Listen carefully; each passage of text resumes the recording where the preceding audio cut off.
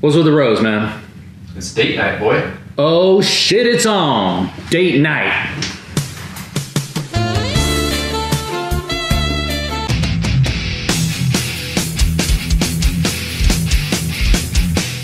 What's up, you culinary derelicts? It's your boy, the maladjusted cook, coming at you today with date night. All y'all out there with no creativity, trying to look like you want to cook something good for your uh, uh, uh, significant other, we got this. We got this. We're going steaks. Steak night, iron skillet style. Sing and learn the letters of the alphabet. B is for B, B, Bacon, blue cheese, B, Brussels sprouts, B. butter. How many bees is that? That's a lot of bees. It's like It's like five, Five bees. bees. Five, four or five, five bees. B. Bees, we got bees all over the board. That's another bee. We got potatoes. We got uh, some stuff we're gonna throw in while we're like basting. That's another bee. B. To add to the bees, we're gonna baste the steak in the iron skillet, butter, bacon, blue cheese, potatoes, Brussels, basting, full PBR. Ace letter B. Let's get this fucking shit started. So if you tuned into our last video, which was skirt steak fajitas, I talked a lot about the science of letting your beef come up to temperature before you drop it in the skillet. Same thing applies here, only how I cheated last time when uh, I told you I let it sit out for an hour, half hour to an hour, and I didn't. I've actually been letting this steak sit out for a good, at this point, probably about 45 minutes, which is fine, because we gotta take care of some potatoes, we gotta fry off bacon, so it's okay to let this thing sit. Another little secret that I did for this steak right here.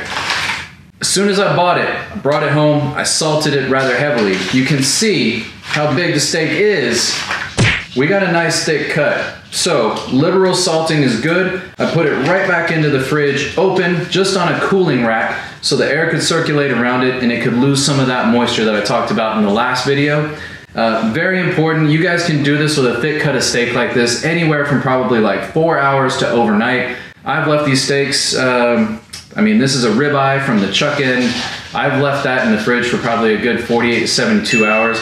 No issues, especially if you're doing a large, like three bone rib rack. Uh, you can leave it in there for a good week and a half, heavily salted. You'll be totally fine. It's just gonna pull a lot of moisture, add depth to the flavor. So I've already salted this. You're not gonna see me salted on camera, so we've already taken care of that, which is key to a large cut of meat like this. So in addition to that, we're gonna fry off some bacon. Okay, we're gonna fry off some bacon. Uh, we're gonna add blue cheese to this. You can go all kinds of different ways on a steak. Uh, you can do what the French call au poivre, which is a lot of pepper, uh, usually in a cream sauce. Too fancy for me. We're gonna kick it old school. We're gonna kick it simple with just bacon and blue cheese. Sounds American to me. Uh, we'll, we'll call it American. And then we're gonna baste in a little bit of butter. It's actually a lot of butter, but we're gonna put this all in the iron skillet. When we do the flip, you'll see what that looks like. And we're gonna put some aromatics into that butter to fry off when we flip, just adding more flavor to this already beautifully marbled piece of meat. Now, how much do you spend on a piece of meat like this? So think about it, y'all. It's date night. Okay, I got this here out of the prime counter, and uh, this is the one time we're going anti-broke boy. I probably spent $22 on this steak, which between you and whatever significant other bum that you got sitting across from you, what is that, $11 per person? No tips? You kidding me? This shit is cheap to do. You guys can do it. You should do it. When you want to bust out something nice, you know, break out the rose, the candles, a nice PBR. Now you got a steak to go with it. Let's get cooking on this motherfucker and uh, see what we come up with. Follow me. First things first, let's get these potatoes on because this is what's gonna take the longest. We're doing potatoes, we're doing Brussels, and we're doing a steak. So you've gotta time all this so everything comes out nice and hot. You can plate it up, it's gonna look good when you put it all together. Now, one thing on potatoes I wanna call your attention to. I have put just enough water in the pan to cover the potatoes, okay? I'm not soaking them in like a giant vat. The key to this is I want the water cold and I want the potatoes to cook up as the water warms. Kind of like dropping a frog in cold water. You heard about that story? You drop a frog in cold water, you slowly heat it up, the motherfucker will just boil. He doesn't know. he doesn't even know. He doesn't know. The temperature will just come up slowly, he doesn't even know. That's horrible. Sounds terrible. We're gonna do that with potatoes. So with potatoes though, potatoes can absorb a lot of salt. Everybody loves salty potatoes. You know you love salty french fries. Same idea here. So check the amount of salt we're gonna put in. Don't trip. If you're salt conscious, get a, get a shot of the salt. Nice big handful for the amount of potatoes I've got. You know what? I'm going another big handful. Looks like a lot of salt, but y'all, what I'm doing here is I am salting or seasoning the water. The water is going to boil the potatoes, right? We already know that. That water has got to be salty like the sea in order for it to permeate that potato and have flavor in it. You ever eaten a bland potato? You eat a bland potato before? No, man. I know, because I was cooking right, right? Yeah, yeah. Exactly. Right. So this is what we're doing. We're cooking the potatoes right. We got to come up. What I'm going to do is bring this up to a slight boil. I'm gonna drop it back down and let it simmer until the potatoes are kind of fork tender, right? I just wanna be able to poke into them with a fork or a toothpick or whatever you've got handy, and that you'll know your, your potatoes are done. We'll drain them off after that, and then there's a second cooking method to get them extra crispy because everybody loves crispy potatoes. That's where we're going. All right. While the potatoes are coming to a boil, I'm gonna start working on the bacon. Okay, we're gonna fry off the bacon in our iron skillet. Now, proper frying technique for bacon means low and slow. This is a cut of fatty pork. If I throw it in a hot iron skillet right off the bat, it's gonna burn, it's gonna stay fatty. If I cook it low and slow, a lot of that fat's gonna melt out, and I'm gonna end up with really, really crispy bacon. Now, you guys can do this one of two ways. Basically, what we're going to do is top the steak when we're done at the end of the night with the bacon and the blue cheese. So you can strip the bacon or fry the strips whole, or you can cut them into we call lardons. Those the French call lardons, which is just basically big chunks of bacon. Okay, fancy fucking way of saying big chunks of bacon, which is what I like to do because I can move it around in the pan easier. We talk about hot, cold spots. Little chunks like that help mitigate one side being burnt, one side being fatty. Let's look at this as we cut it up. So I've got a stack of really nice bacon here. It's thick cut. It's from my local grocer. I mean, my local grocer does things right. Sometimes you can go to a butcher shop, get some nice thick double cut bacon, whatever you want to call it, whatever they call it. Just don't get the trashy stuff uh, that's real thin, right? We want something with substance because we're working uh, towards something with substance tonight, which is this really nice steak on my right. So let's look at how we cut this up. Keep in mind, just as we did the beef, right? When we did smash burgers, I told you to do these really smash burgers really big because they shrink down. Same thing applies to bacon. You guys know that if you drop bacon in a pan, nice big long strip turns into a small strip. So instead of cutting tiny little slices like this, I want thicker lardons because that is going to translate into a nice little chunk of bacon when it's done frying up. So just slice it up however thick you want it. There's no real no real rules to this. And I'm gonna take all this right here and drop it in essentially a cold iron skillet. And then we're gonna low heat that, probably about medium low, not low low, but medium low, and let that fry. As we're letting it fry, the rules apply, man. Always be flipping. Because these aren't strips, we're just gonna always kind of be stirring every 10 to 20 seconds to make sure that we're moving around in the hot spots and we're not getting burnt, crispy little turds on the top of our steak at the end of the night. Let's go. So I've got a cold iron skillet. I've got the bacon that we just cut up together, and I'm gonna drop it in here. You're not gonna hear any sizzle because it says a cold pan. Follow me. Now, don't trip. You don't hear any sizzle. Don't trip if the bacon sticks together, okay? As it starts to fry and loosen up, all this stuff will kind of separate and it'll start cooking. And at that point, you can move it around. No fancy tools, just a plain old dinner fork to get us started cooking the bacon up. We're also gonna reserve that bacon fat so we're gonna fry off the Brussels sprouts in it. So follow me back to the table. We're gonna start prepping Brussels sprouts while this is frying up.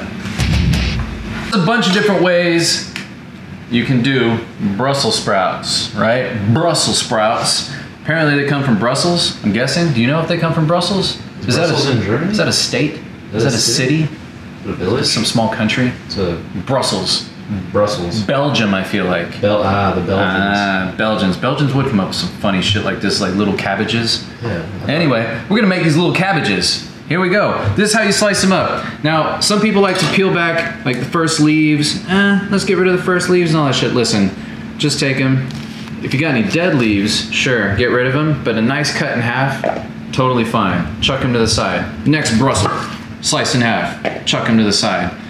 If I see any dirty rotten leaves, yes, I'll get those leaves off.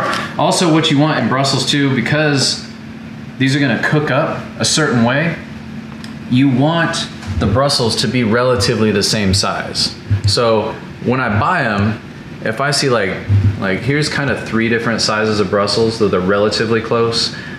Like this is me being nitpicky, right? This is me being nitpicky. This guy might not make the cut because he's too small. He's gonna fry up before the other guys. Now, there's nothing wrong with a crispy Brussels, but you don't want to overcooked mushy Brussels either. By the way, we got bacon. That's another bee cooking in the background. Don't neglect your bacon. You can see it's just starting to steam up. Low, medium, low flame. Catch that flame, cameraman. You got it? Ooh, ooh, medium, low. Just move the bacon around a little bit. You'll notice it starts to sweat just slightly. That's good. That just means some of that fat is starting to melt away, and we're gonna end up with crispy Frenchy boy lardon. Mm, all right, let's let's go back to the Brussels. How are the potatoes doing? Actually, the potatoes look good.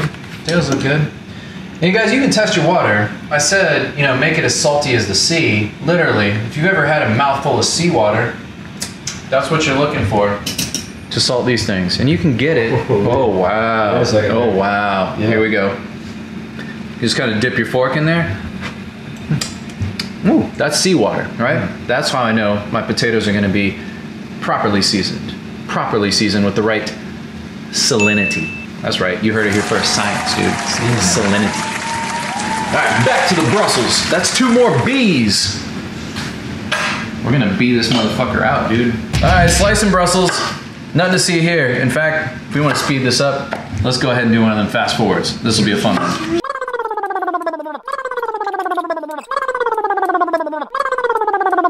Ooh. Big boy Brussels. Biggin. Big boy Brussels. That's three more B's for this show. Big boy Brussels. That's All a that's a DJ name. Back. Oh, that's pretty good. Big Boy Brussels. Back to the fast forwards.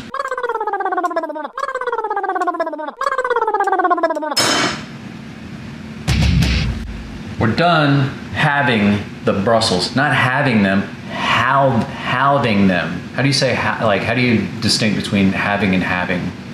As in Like having it? As in like the process of cutting something I in would say half. halving. Halving. Yeah. We just halved the fuck out of those Brussels. Halves. All right, we're done with the Brussels. Brussels are gonna sit. I got bacon behind me. I've been neglecting the bacon while I was speed cutting them Brussels. Get back to starting the bacon. A little bit of steam, a little bit of water coming off. That's good. Water and fat. Mmm.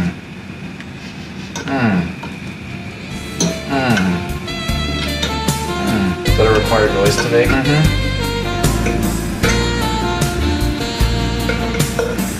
Bacon and Brussels. The potatoes are now at a boil. I'm going to turn them down to Yeah, that's a. another bee. That's another bee. The potatoes are at a boil. buh, We got too many bees in this episode. Yeah. So I'm gonna turn the potatoes down to a gingerly boil. You get that? Gingerly. That's a good vocabulary. It's word. pretty. Uh, it's pretty subjective, right? Gingerly. Gingerly. Which potato cooking doesn't have to be so strict. So subjectivity in potato cooking is a okay. So check the gingerly boil. Get in there, cameraman. That'd be too, too big of a word. I don't know, man. I think it's a good word. Nothing too hectic. Check the water though. See that? That's a gingerly That's boil. a gingerly boil. gingerly boil. So you're out here prepping before your uh, date shows up to the house, and you're sipping some quality brew like a PBR. Don't get caught slipping. They ring the doorbell. You want to look like you got some class, all right? Pour your shit in a glass. Look at that. Could be mistaken for champagne. Maybe a little bubbly white wine. Isn't that champagne? Bubbly white wine? Bubbly. I don't know. Bubble- bubbly I call it wine. bubbly. Anyway, they catch you slipping, drinking PBR. I don't know, man. Date night might be off. Approach it with class. All right, this is books, candles, roses, classy all the way, all the way. I, yeah, dude, class. Check it out. Also, this is a lesson in drinking with class. Lift the motherfucker right here. Okay? Pinkies up. Pinkies up. PBR never tasted better.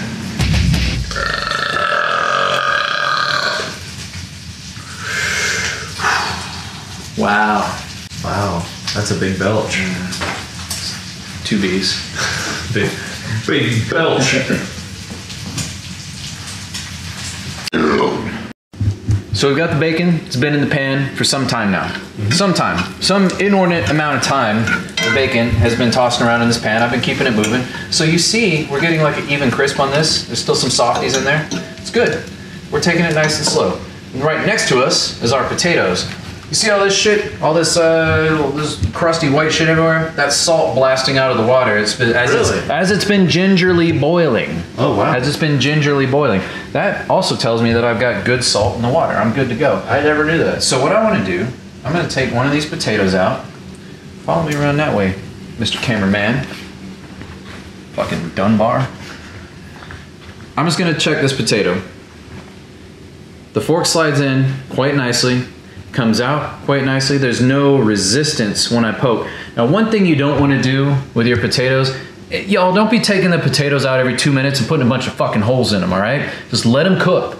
Let them cook. And you'll know, grab the biggest potato in the pot, put a little hole in it. These are just small yellow potatoes. That seems perfect to me. And if you want to taste test a soft potato, you can see the salinity level in the potato before we get to the next step. Now, hot potato, quite literally, that's a fucking thing, so don't burn your face off.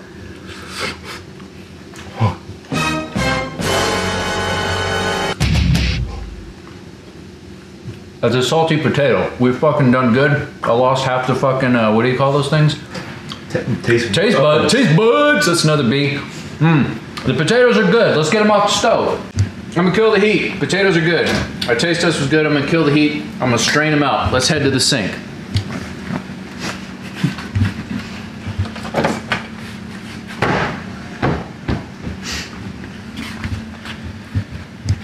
Get okay, guys. I'm using a few more specialty tools today, just a few, because it is date night. I'm breaking my iron skillet rule because it's date night.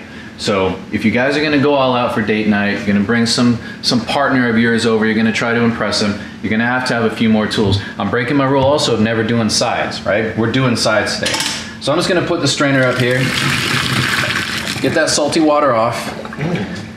I'm gonna drop that hot pot right into the sink. I'm just gonna let them sit. Let them steam out. Forget about the potatoes for now. We'll come back to those later. Potatoes are done. Pota- well, they're not done. They're done boiling. Is that good? It's hard. It, it hits nice. Yeah. Man, man, sipping the uh, the old fashioned that we just made. Yeah. Potatoes are done for now. We're gonna go to the next step in a little bit. By the way, by the way, I neglected to mention this. I am heating up the oven because the next step in this whole did not dessert. What is this? Date date night. Date it's night. not dessert night. It's date night. Date and this date night, we're pulling out all the stops. I got the oven firing behind me. I want to get it hot, probably like 450. Bong. Yeah, 450. Maybe bong over here, 450. I want 450 degrees on the oven. So I've been heating that up while we've been messing around with all this shit. The bacon is still in the iron skillet. Oh my God, how many times are we gonna look at this bacon? Hopefully this will be the last time. We're pretty much there. Uh, I've been tossing this around in the skillet. I've been multitasking, working on this stuff. The good thing is, is that when you have your skillet this low, there's very low risk of actually burning the bacon. You just have to remember it's there and you gotta stir it up every once in a while. Dunbar? Um, look at that. We're getting beautiful golden color, no burn. Couple of fatty boys, that's all right. You know, when you're munching steak, a little bit of steak fat, a little bit of pork fat. Bacon's so salty in itself, it's just another seasoning uh, on top of that steak. Crazy that that was all those strips. I know, I know. It, it reduces to nothing. That's a good point. You want to put enough bacon in the skillet to make sure you can top the amount of steak that you've got. I think for this, I probably used, I don't know, was it five or six strips of bacon? I probably Yeah. could have done more. You know, it's going to seem like the crowded, uh, the pan is crowded at first, but really it's not. It's all going to melt down. A lot of that bacon fat's going to come out. So we're pretty much done. Um, also, a good point on bacon, knowing when it's done. If you see this little white fuzz, when your shit starts to get white little fuzzies like that, that means you're very, very close to done, if not done, because as you pull this out of the skillet, the bacon will continue to crisp up.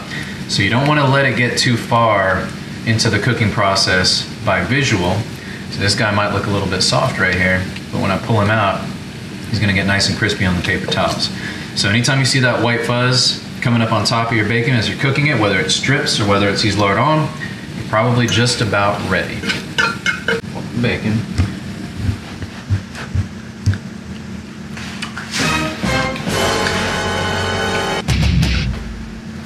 Who doesn't like bacon?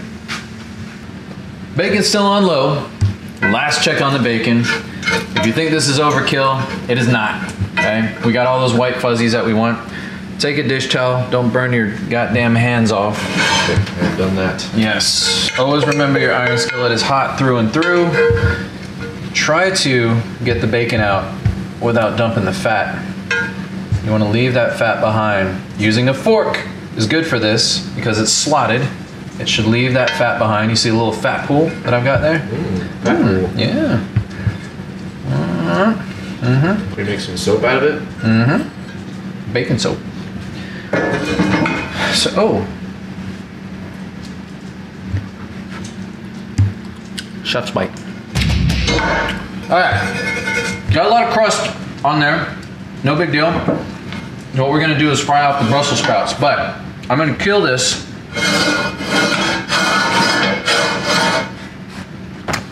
Kill that. I'm gonna leave the grease in there. Let that kind of settle back down again. I'm gonna check my oven, make sure that we're up to temp for the potatoes, which have been cooling over there in the sink for some time. So we're done boiling the potatoes, gingerly, yeah.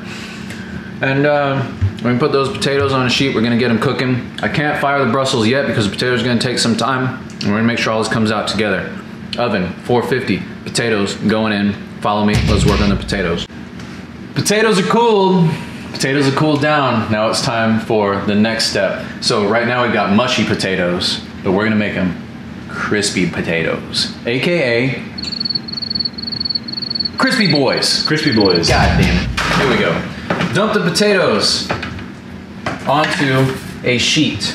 Usually, whatever cheap ass oven you have has probably got like a fucking baking sheet in the bottom, a roasting pan, I think they call it, mm-hmm. in the bottom in that little like drawer that nobody opens. Yeah. There's usually a roasting pan down there. Mm-hmm. Use that roasting pan if you don't have a baking sheet. Same, same.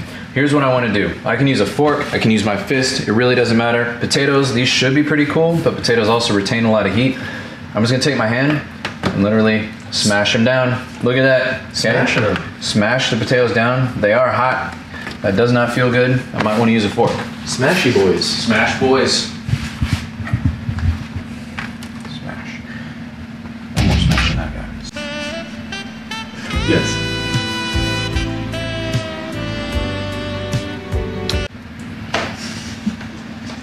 Let's put some oil on these things, man, because they're gonna need some oil. Okay, they can't just go into the oven like this, all dry and weird and shit.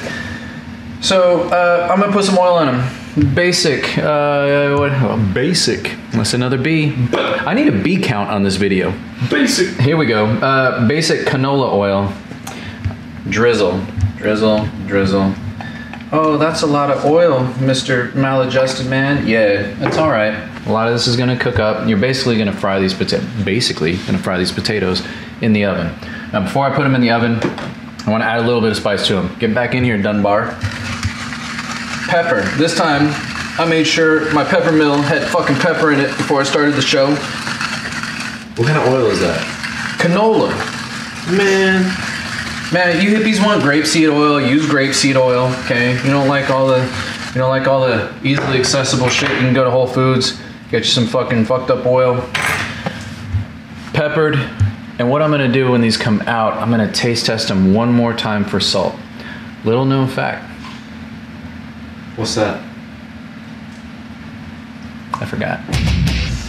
Fuck it, put the potatoes in the oven.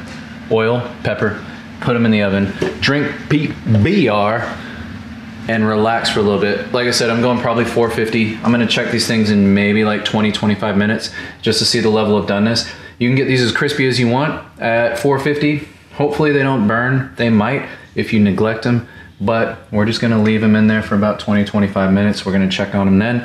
If they need more crisp, we'll leave them in a little bit longer. Mm-hmm. If they're too crispy, I led you wrong, and I'm sorry. Let's blow them in the oven.